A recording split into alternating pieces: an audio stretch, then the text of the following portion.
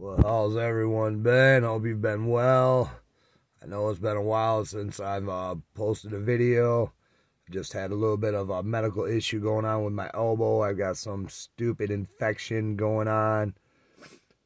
But uh just wanted to jump on here and tell you guys I'm not going nowhere. I'm sorry it's taking me so long to upload a video. I appreciate all you uh, subscribers. But let's talk about seeing how I have a medical condition right now going on, an infection. Um, learn uh, how to make antibiotics. Learn that fish antibiotics is okay to take. Um, there are several videos on YouTube on how to make your own antibiotics. Um, these are some of the things you need to be uh, uh, capable of doing yourself in case uh, a doctor's unavailable. But what I want to talk tonight about is situational awareness. Because nowadays we are seeing more and more um, violence happening in the streets, in our country, in the world, all around us. So situational awareness is extremely important to have people. Now I'm on I'm not a fan of uh big crowds even though I've been too many, many of them, doing all the rallies that I've done. But situational awareness in larger crowds is harder for your brain to process than it is in smaller, more controlled environments. Now, luckily for me, when I attend these rallies, I'm surrounded by usually no less than six, seven guys who are uh, pretty good at situational awareness themselves. But people, right now, you better pay attention to your surroundings every single day. Pay attention at your grocery store. Pay attention if you go to the mall. Pay attention if you go to a concert, a movie theater, anything, any place you go. Be aware that there might be a predator lurking looking for a soft target.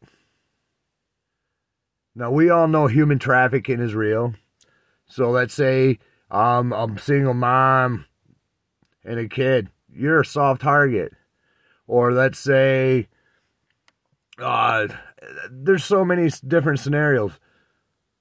Somebody just sees an opportunity to rob you. Um, sees you cashing out and sees you have a bunch of money or something in your wallet and decides to follow you home or follow you to your next stop or whatever it is. It's all about situational awareness, people. Today, we are living in a time of good versus evil. Now, I'm a spiritual person, I'm not a religious person. But you better be aware of your surroundings at all time. I cannot stress that enough.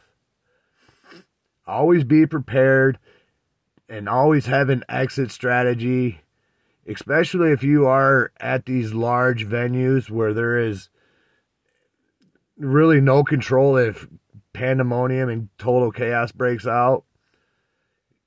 That's when your instincts are going to kick in, and that's when uh, you better hope that your survival skills and your mindset come into play, and it's all muscle memory and uh, self preservation kicks in. What got me thinking about this self preservation and situational awareness was what happened at this whatever Astroworld concert with that rapper or whatever. Um, I don't know the whole story on it, but people getting trampled to death. That's not situational awareness. People weren't aware of their what was going on. Well, maybe they were and they just wasn't able to get help. So maybe don't put yourself in that situation if if you can help it.